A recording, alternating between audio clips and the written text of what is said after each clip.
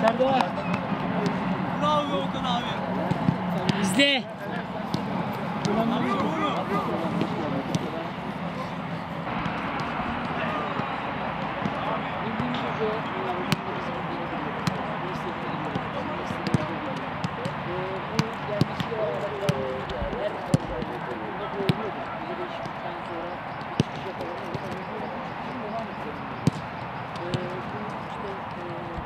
Hocamız e, Cüneyt Hoca e, geldi ve elinden geleni yapıyor. Biz de oyuncular da elimizden geleni yapıyoruz.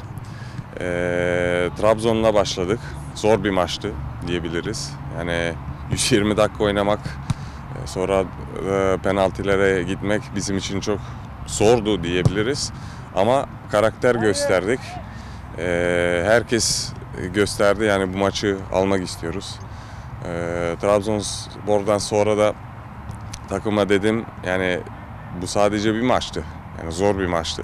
Ama ligde de göstermemiz lazım. Ve Tuzla Spor'da da gördüğünüz gibi yani takım ruhu süperdi. E, elimizden geleni yapacağız bu ruhla devam etmek için.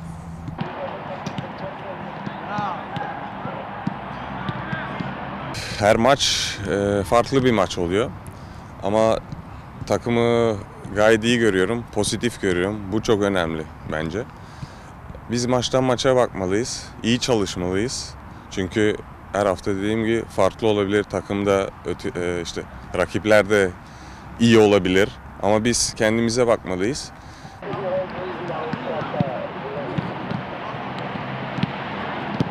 Tabii ki yani sadece 11 ya da 15 kişi önemli değil. 25, 30 kişi önemli. Onun için diyorum hani herkes e, yüzde yüzünü vermeli An- e, idmanda da çünkü hani performansı burada alacaksın. Sonra maçta iyi oynaman için. Ama takım gayet iyi, konsantre ve herkes biliyor e, maçtan maça. İnşallah iyi bir maç yaparız.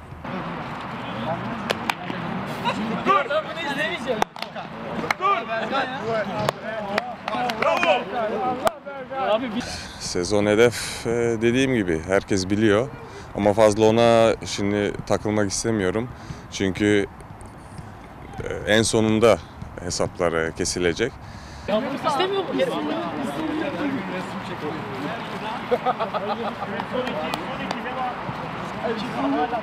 Ya benim hedeflerim e, çok var ama dediğim gibi e, sağlıklı, iyi, motive, fiziksel iyi durumda olmak bunlar benim hedefim.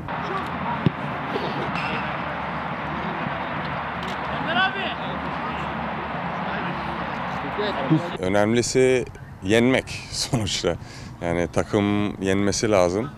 Ee, iyi oynaması lazım, organize olması lazım. Bu bunlar benim saha içinde hedeflerim. Tabii ki herkes benden şut bekliyor.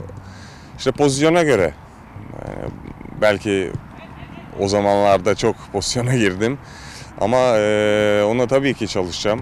Hani özel olarak daha da uğraşırım ama dediğim gibi sonuçta bireysel olarak tabii herkes ister e, şutumu görmek ama benim amacım takım yensin ve hedefe ulaşsın. Bu benim büyük amacım.